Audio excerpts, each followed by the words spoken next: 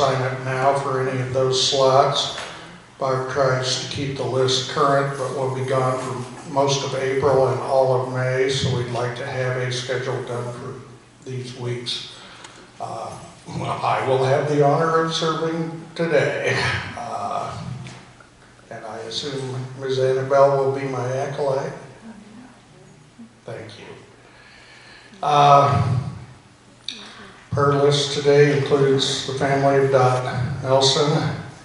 Uh,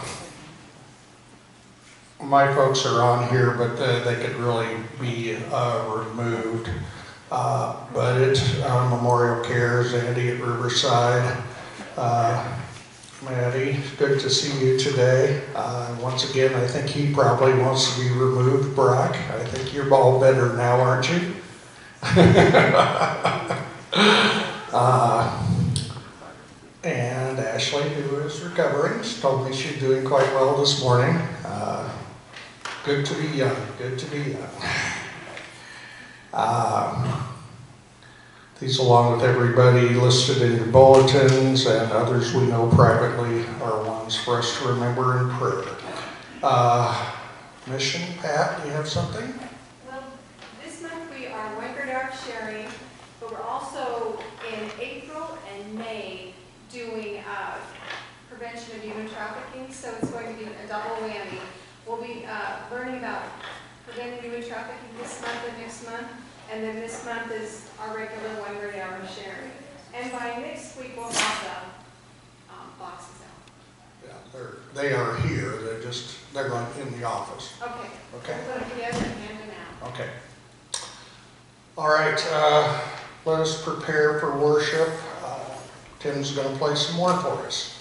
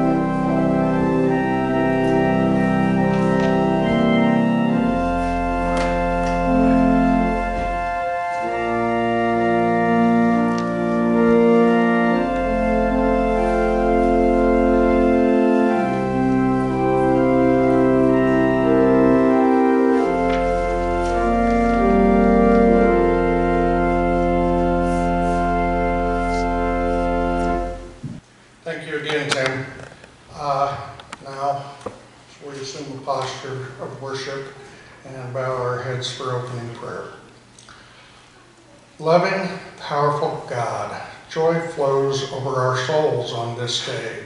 Christ is risen. Fear is vanquished. Open our hearts and our spirits to receive fully the joy which has been given to us.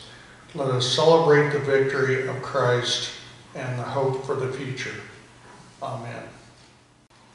Our first scripture today is from Luke. It's chapter 24, and we're going to look at verses 1 through 12. But on the first day of the week, at the early dawn, they came to the tomb. Taking the spices that they had prepared, they found the stone rolled away from the tomb. But when they went in, they did not find the body. While they were perplexed about this, suddenly two men in dazzling clothes stood beside them. The women were terrified and bowed their faces to the ground. But the men said to them, Why do you look for the living among the dead? He is not here, but he has risen. Remember how he told you that while he was still in Galilee, that the Son of Man must be handed over to sinners and crucified, and on the third day rise again. Then they remembered his words, and returning from the tomb, they told all this to the eleven and to all the rest.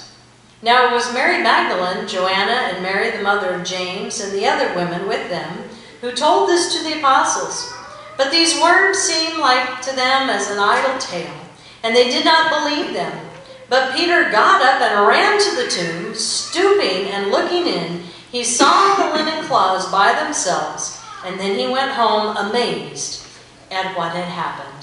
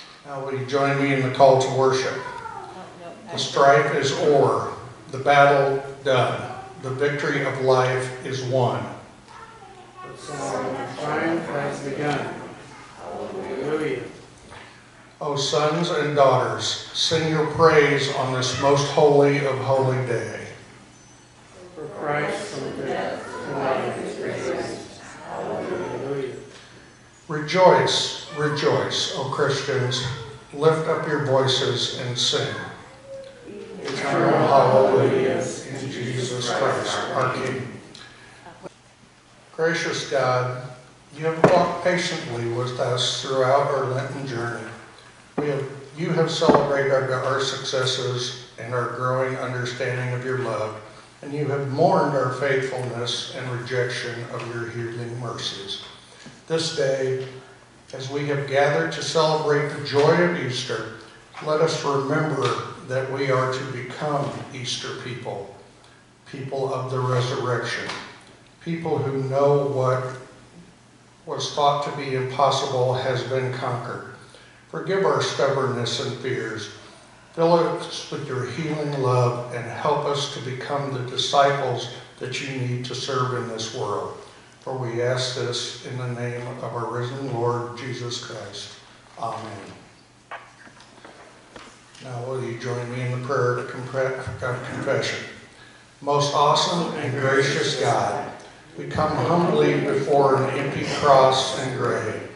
The magnitude of your sacrifice and love is far too great for us to comprehend. Many times we have too bewildered like those first souls who were good into the vacant Many times we find ourselves confused and doubting your power and love.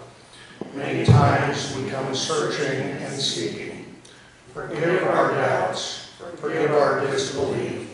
Forgive our hardened hearts. And thank you for the most precious gift you can give, eternal life.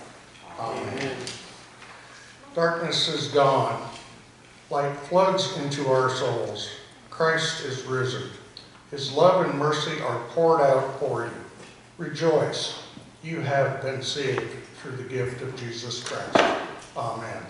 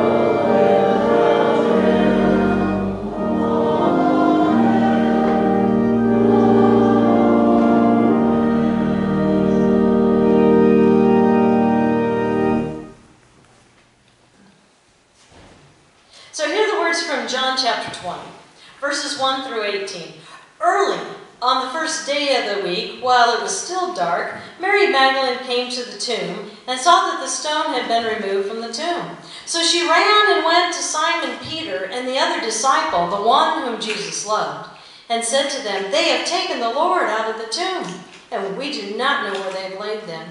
Then Peter and the other disciple set out and went toward the tomb. The two were running together, but the other disciple outran Peter and reached the tomb first.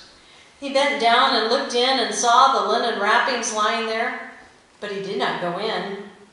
Then Simon Peter came following him and went into the tomb, and he saw the linen wrappings, lying there, and the cloth that had been on Jesus' head, not lying with the linen wrappings, but rolled up in a place by itself.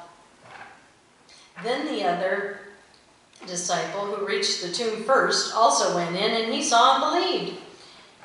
For as yet they did not understand the scriptures that he must rise from the dead. Then the disciples returned to their homes. But Mary stood weeping outside the tomb, and as she wept, she bent over to look into the tomb, and she saw two angels in white sitting there, with the body of Jesus had been lying, one at the head and the other at the feet. They said to her, Woman, why are you weeping? And she said, They have taken away my Lord, and I do not know what they, where they've laid him. When she had said this, she turned around, and she saw Jesus standing there, but she did not know that it was Jesus. Jesus said to her, Woman, why are you weeping? Whom are you looking for? Supposing him to be a gardener, she said to him, Sir, if you have carried him away, tell me where you have laid him, and I will take him away. Jesus said to her, Mary. And she turned and said to him in Hebrew, Rabboni, which means teacher. Jesus said to her, Do not hold on to me, because I have not yet ascended to my Father. But go to my brothers and say to them, I am ascending to my Father and your Father, to my God and your God. Mary Magdalene went and announced to the disciples, I have seen the Lord. And she told them that he had said these things to her. Thus ends the reading. Thanks be to God.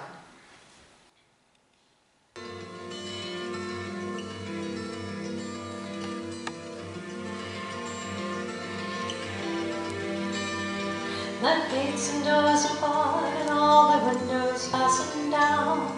I spent the night in sleeplessness and rose at every sound. Half in hopeless sorrow, half in fear of the day. Find the soldiers breaking through to drag his soul away.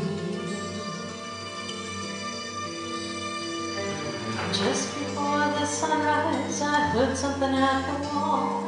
The gate began to rattle and the voice began to call.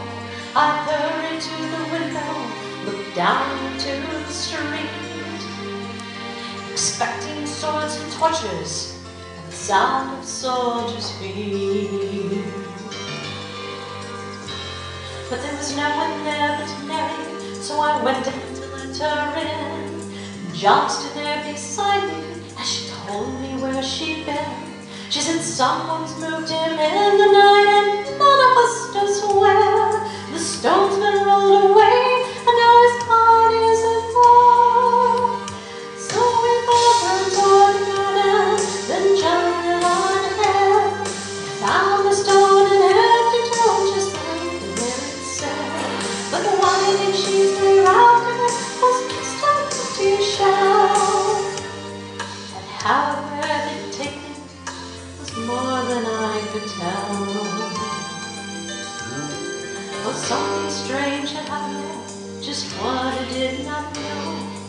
John believed a miracle, but I just turned to go.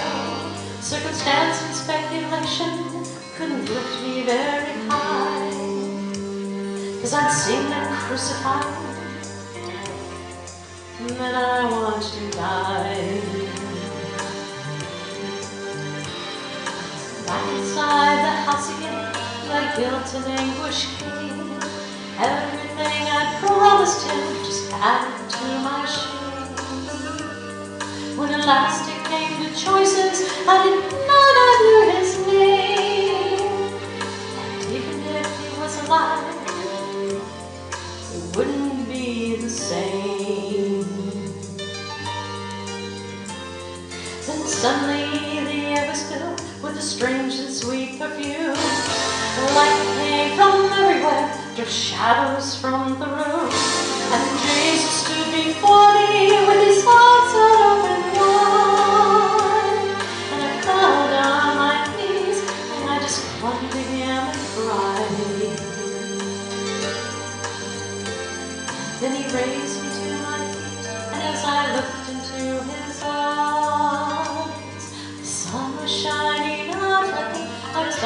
from the skies. Guilt and my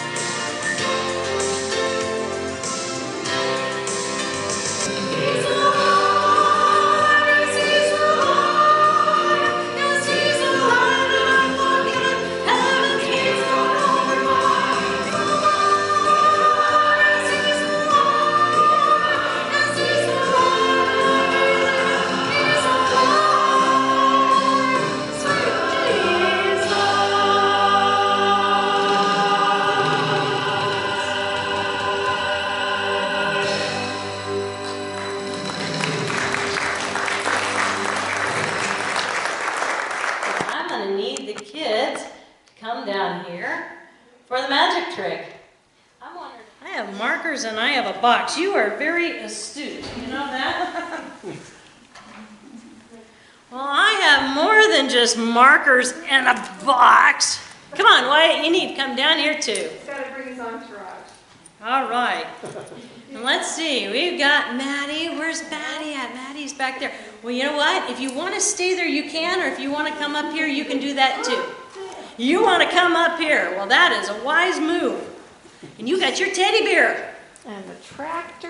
Well, tell you what, why don't you guys just come right over here and kind of seat up here on this step? How does that sound? All right, well, I have got three quarters here, and they're all, do you know about quarters? They're kind of unique. Now they've got, they used to just only have the eagle, but now they've got all sorts of states and all different stuff. So I've got the ship, which is Mass, Virginia, and then I've got this little Aztec thing, that's New Mexico. Um, so I tell you what, how about, you like ships? All right, and I have a feeling that maybe purple might be your favorite color. Is that your favorite color? No? Green is your favorite color. Well, I'll let Maddie have green. She looks like she's a green person. Let's see. Um, I'm gonna just put, you- how about we put your first initial on here? I'm gonna put an A, in purple. Okay, you hold on to that. Uh, let's see. Maddie? Ah, you look like a New Mexico. About New Mexico? We do that? Let's put your initial right here. Yeah, right. Green. Okay. You get to hold that. Okay? Now let's see. Wyatt. You started with a W, right? That's right. Let's give you blue since you're a boy. How does that sound? Okay. All right, so there you have a blue W. Let's let Grandma hold it for just a second. All right, I'm gonna put my markers down and I have a box here. And this box is empty. So what we're gonna do is we are going to put your quarters right here. We're gonna put it in the box. Can you put it in the box? Okay. Can you put yours in the box? Good. All right. Now, see, this is the cool thing. Because Jesus was in that tomb, okay? And he went in, and he was there, right? And then he was there for what? Three days. And on Sunday morning, what happened when, when they went? He disappeared. He was completely gone. Where do you think he could have gone? Well, you know what? We sang some songs today, and I left, I think, mine up there. Who's got a, a bulletin handy? What was the first song that we sang? Christ the road. Yes, up from the grave he rose. Okay, Annabelle? Nobody was in that pew behind Brooke. Why don't you go behind her and grab the red hymnal and bring it up here? See where Brooke is? Go behind her, because nobody was in that one, so nobody touched anything. Grab the red hymnal and bring it up here. Um, and tell you what, Maddie, do you want to do that? Do you want to get the purple hymnal in that first row? It. It's right there in the front. I think there's a purple one. There should be a purple one right over here. Because nobody was in that. We don't want to bug that. Let's see. And Wyatt, Wyatt. Well, we won't make you go very far. Come here. You want to come here and get this red hymnal? Okay, you give her the purple one.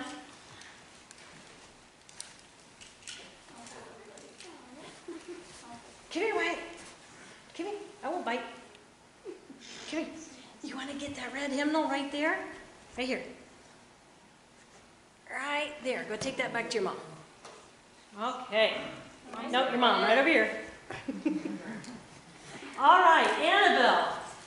You got the hymnal. What I want you to do, somebody yell out, what was the page number to Christ Rose? 564. 564. Open it up. Now, what was the second one? 113. 113. And what was He Lives? What's the number to that? 113. 113. Look what you found in there. What'd you find? What'd you find? You found your quarter.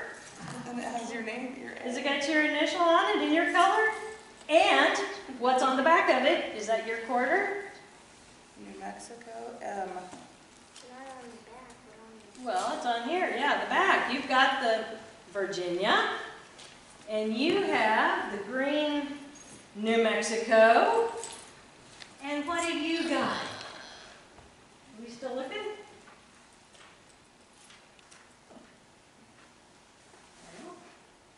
Wait a minute, I think they told you the wrong number. They told you the wrong number. He lives was 285. Daddy! There you go. You got the blue. Look! How cool is that? Oh, got a penny! Penny, well, it's actually a quarter. It's worth 25 pennies.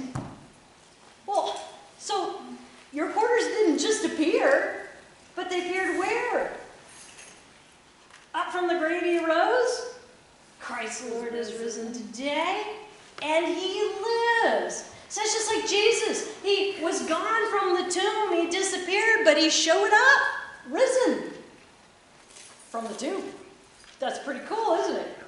And you guys get to keep those quarters as a reminder that Jesus is no longer in the tomb. The tomb is empty, the cross is empty, and he has risen, and he is now with the Father. And guess what? The best part is he's coming back. And he's coming. You're never going to spend the quarter. Why don't you bow your heads with me? Dear Heavenly Father, we thank you so much that you are no longer in that cold, dark tomb, but you have risen and you are among us and you are with the Father and coming back for us. Thank you for these things. In your name we pray. Amen. Okay, you can go back. We are going to look today at um, the Gospels, mostly of John. But we're going to look at some of the other wonderful things around Easter that maybe you didn't know. If you've been on this journey with me, you found out on Monday, Thursday, how much more there is to the Easter story than we even know. How many more things God had put into place, which goes right along with 1 Corinthians. We're going to come back to that. But now Christ has been raised from the dead, the first fruits of those who are asleep. This is a picture of the garden tomb. I'm going to hop up here so you can see me a little better, maybe. This is a picture of the garden tomb uh, that I was able to go to in Israel. Now, I know that um, tradition has it that it is in the Holy Sepulchre, um, but tradition doesn't always trump truth, just when it comes to tourists, I think. But this garden tomb was, it was an experience like no other. So let me ask you this, what is a tomb? Well, it's a place where what? Hope ends. And where dreams end, and life ends, and where everything ends. The tomb is a place of the end. But in God, the tomb, He took the most radical thing, and the place of the end now becomes what? The place of the beginning. Where was it that God placed Adam after He created him? It was in a garden. The Lord took the man and placed him in the Garden of Eden. God's first act towards man was to bring him to a place of life, to fruitfulness and blessing. And when did God bring him into the garden? On the sixth day. It's the day of man. Messiah died on what day? The sixth day, Friday. After his crucifixion had been completed, they took his body down and they placed him in a tomb, but not just any tomb. It was what? A garden tomb. And on the sixth day, God brought man into a garden. And on the sixth day, man brought God into a garden, into a garden tomb. See, a garden is a place of life, but a garden tomb is a place of death.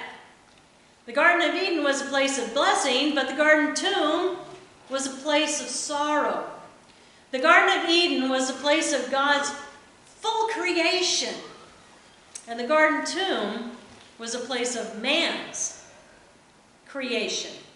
Joseph of Arimathea had that tomb carved out of stone. So God brought man into the place of God's blessing, but man brought God into the place of man's curse. Why? Because God allowed himself to be brought to the place of the curse to give us the power to leave that place, that he might once more bring us to the place of life and to a life of his blessing. See, it's a radical way of the kingdom of God. In God, the journey does not go from life to death, but from death to life.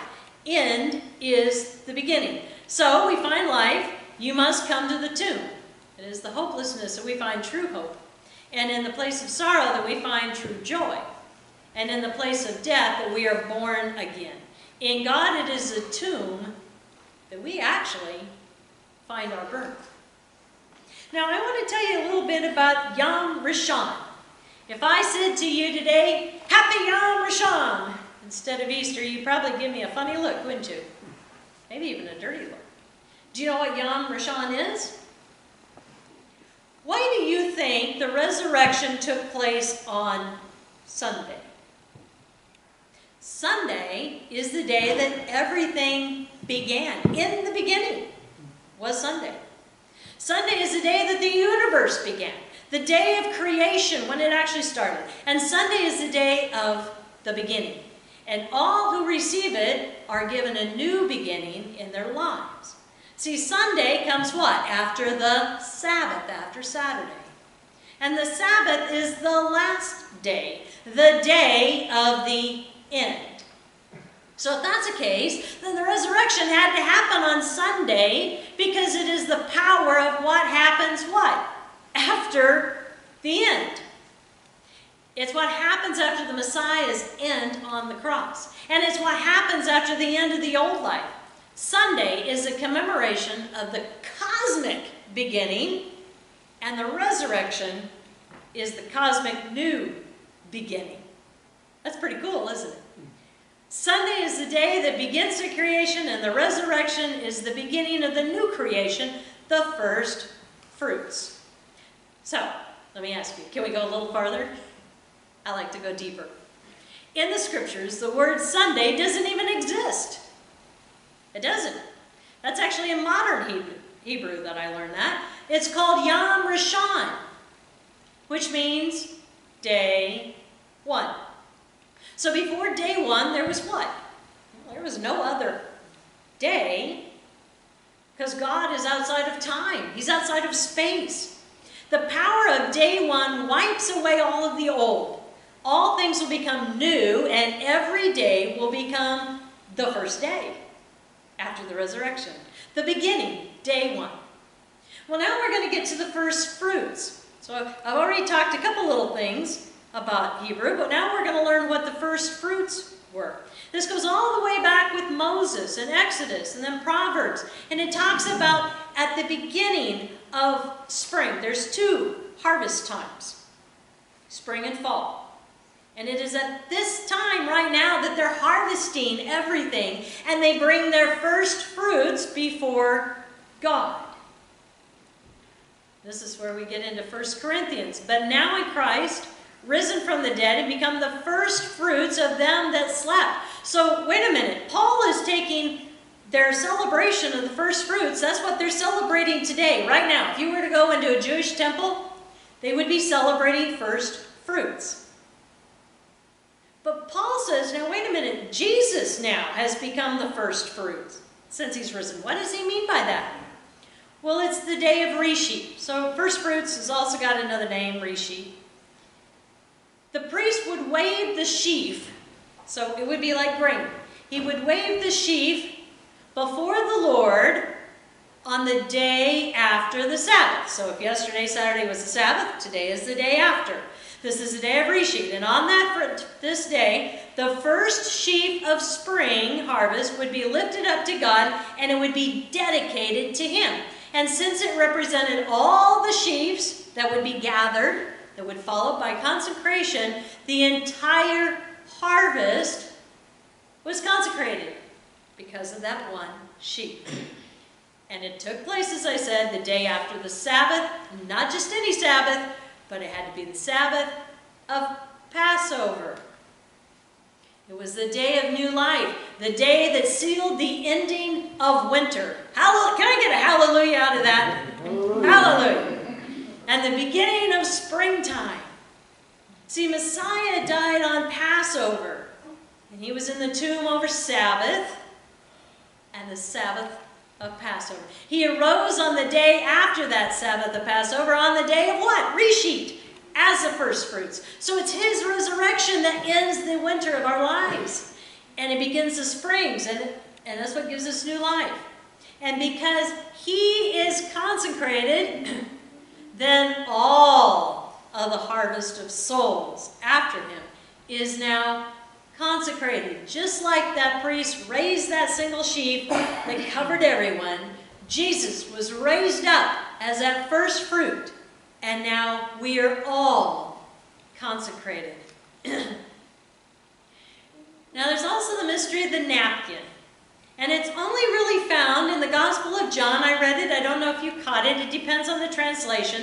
Some say the covering on his face was rolled up. That's what this one did. Others say it was folded up. If you were to look at the napkin, it's right, yeah, I can't see very well here. It's right about here. If you notice, the regular sheet was all crumpled, but the one that was on his face was neatly folded. That was not happenstance either. See, when they would go in, and what I didn't realize is when they would go in to prepare a body, you could not see a naked body. So they would go in with all the spices and they would cover the body with a cloth. And then they would just remove a part of it while they put the spices and they wrapped it. And then they would remove another part and put the spices and wrap it. And then when they were all done, they would grab the corner of the sheet and as they were walking out, they would pull it with them so the sheet came off, but they never saw the body. And then the stone was rolled in front. Now with Jesus, it was totally different because since he had to be taken down before the Sabbath, he couldn't be prepared. And I said today at, at Easter sunrise, the funny thing that I thought was interesting, the women did not go back because it's from 6 o'clock to 6 o'clock, from Friday night to Saturday night. They didn't go back at 6 o'clock, it's light out. They didn't prepare the body then, they waited until Sunday morning. Why is that? I think that was a God thing, because Jesus had to be in the tomb for three days. So when they go back and, they, and the stone is rolled away by the angel, it says when Peter and John, Peter goes in, John, he gets there first, but he, he waits, he backs off. Peter goes in to look. And it says, the sheet was crumpled. But what was on the face had been folded. There's a reason for this. Because a king, and this was customary, and everybody knew this, by culture, a king, when he would sit down to dine and eat his meal, if he was not done, and it would be anywhere from a 7 to a 14 course meal. So they took a long time to eat. And the king could get interrupted many times through that course of that meal. And so if he was not done, he would take his napkin and he would neatly fold it and he would lay it beside as a sign that said, I'm coming back. Don't take my food. But if he was done, he would take that napkin and he'd crumple it up and he'd just toss it down, which let the servants know that he was done. You could remove it. Did you notice that Jesus did not just resurrect from the dead, but how was that napkin from the face? It was folded and it was left there to signify something huge.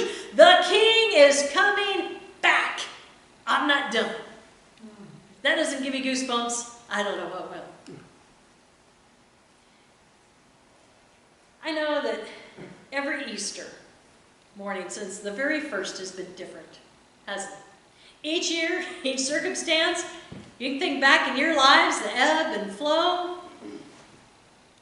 We come to the tomb with all mixed emotions. I was kind of lamenting the fact, um, Friday night, they had a, a series, they played it again on Oxygen. On, and uh, they were replaying, since it was the 15th anniversary of some very, very close dear friends of ours' murder. They were playing it. And you know, it's interesting how things go, time. I remember the day, I remember what we were doing when we got the news, but I didn't remember that it was literally the night of Easter. That part I had forgotten. And I thought about all those emotions and everything that had happened, and, and I could kind of understand with the disciples the brutality of it, the helplessness. What could you do? But on the flip side, I remember another Easter morning that was very joyous. I told my kids I had to look up because I was pretty sure it was almost the same date and it was very close. In 1994, at 5:30 in the morning on April 3rd, I got my ring right before Easter sunrise. So that was a very joyous occasion. You know, we approach the tomb today with so many mixed emotions. For some, we've lost loved ones. For some, we've had births or we've had exciting things happen in our lives. Sometimes we come feeling kind of bewildered. 2020, the continue of 21. The garden tomb is a place where emotions just run full and the whole width of the spectrum. I can personally say that when I stood waiting for my line in turn to go into that garden tomb, oh, it was unlike anything I had ever experienced. There was joy and elation, oh, but there was so much humility. You felt so humble and you felt so small walking in to that empty grave. There was a little anxiety, there was a little uncertainty. Before you went in, you didn't know what you were going to feel, you didn't know what you were going to see. Everyone that came out came out with tears. It was interesting later, or they, most people couldn't talk. And then to hear the comments from even my, my group later as they processed that, what that meant to each of them. I know there was several on our, our trip that said that was the whole reason why they came, was just to do that. And it didn't leave them uh, disappointed. You know, I am pretty sure that that's what those men and women felt like that day when they walked in. They were on holy ground. And they had such a mix of feelings and emotions that they couldn't even put it into words. You know, Mary, when she saw Jesus, went back with a joy that spilled over, and she so bad wanted to tell everyone, but did they believe her? No. They said they just couldn't believe it. They shook their head in disbelief. Well, I want you to know, I love this picture. I want you to know that no matter what the emotion is that you come to with this Easter morning, that you're not alone. It is at the tomb, though, that we can bring what our fears, our uncertainties, our frustrations, anger, hopelessness, and even our darkest thoughts and times. And we can bring them and place them and leave them where the stone is rolled away. I'm going to leave you with the words that Jesus left with Mary and Martha. He said, I am the resurrection and I am the life. Anyone who believes in me will never die, but will have eternal life. Amen. And I'm not even going to say it. I'm going to let you just read it, and I'm going to let you internalize it for what it means to you.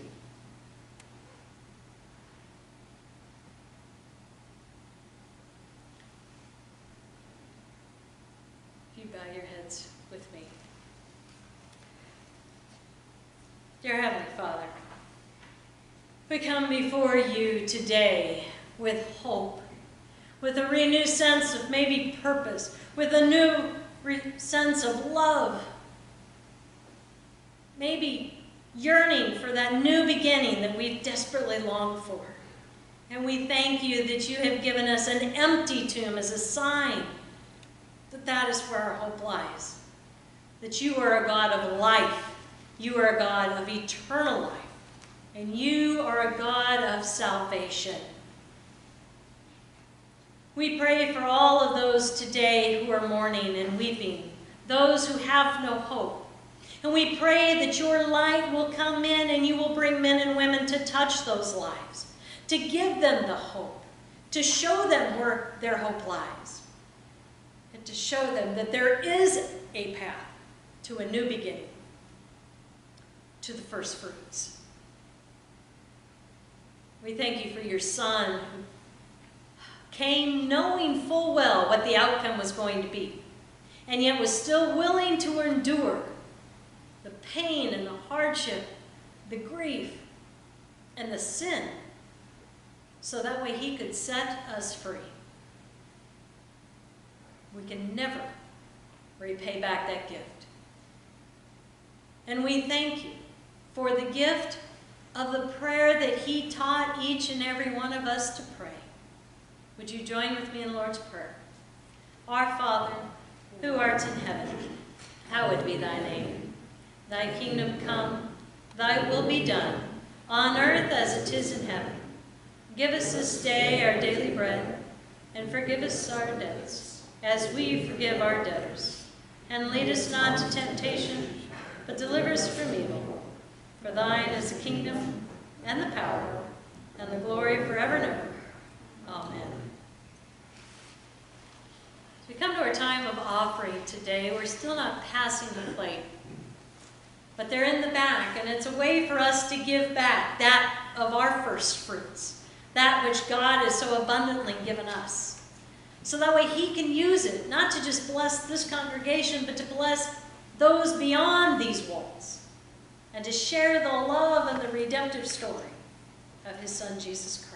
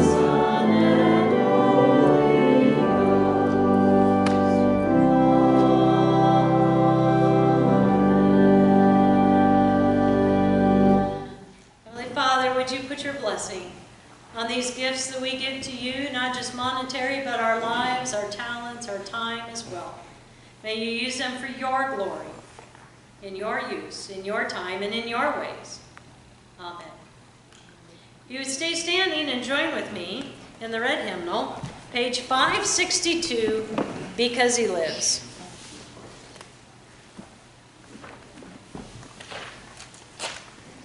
We're going to do the first and the third.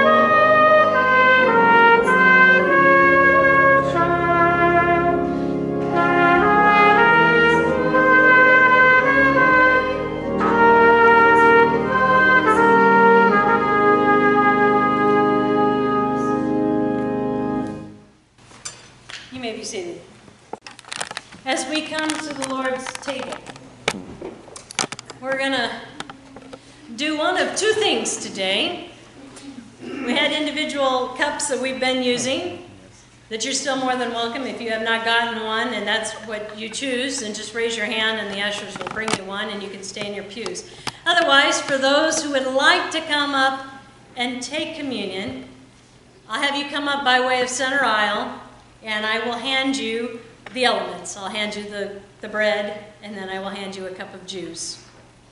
So that way you can do either. If you want to come up front, you can do that. If you don't and you want to stay in your pews, that's fine. And if you didn't get communion elements, just raise your hand. Um, as we come before Christ's table, let us remember the night in which he was betrayed, which was just on Thursday night. He sat with his friends and he picked up that middle piece of bread. He wrapped it in the cloth like that was customary and he broke it. But instead of hiding it, he said, This is now my body, which is broken for you. Every time you eat of this, do this in remembrance of me.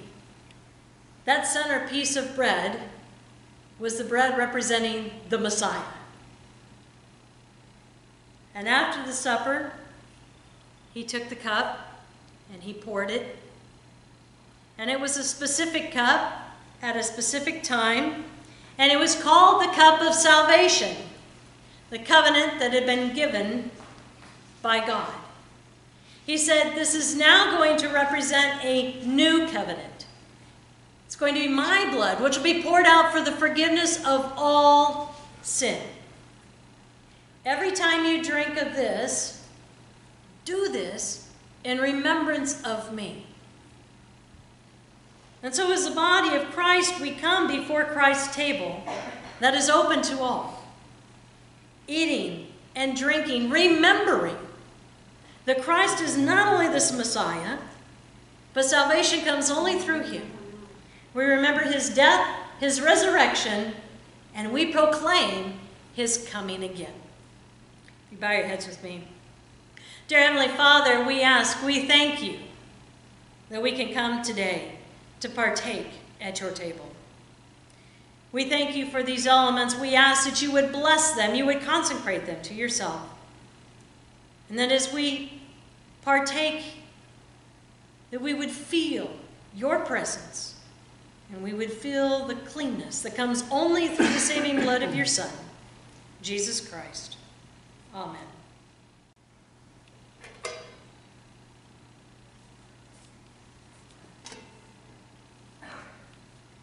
At this time, for those who would like to come forward, I will ask you to just go ahead and make a, a single file. Um, just leave plenty of room from the one in front. The table is open.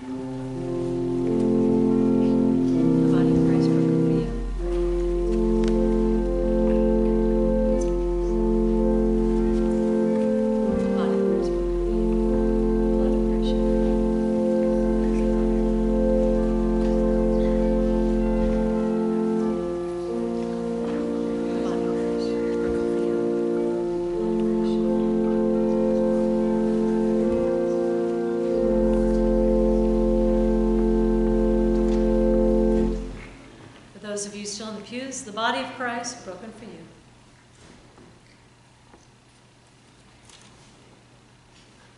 And the blood of Christ shed for you.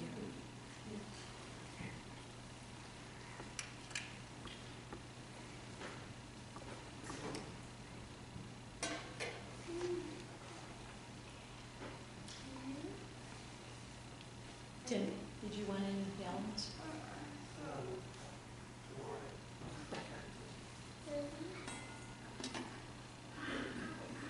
Would you bow your heads with me? Heavenly Father, we thank you that we can come as your body in joyous celebration on this day, this day of new beginnings, this day of hope, this day of resurrection. We ask that you would bless these elements to our body and make they, may they fill us with your life anew, now and forevermore. Amen.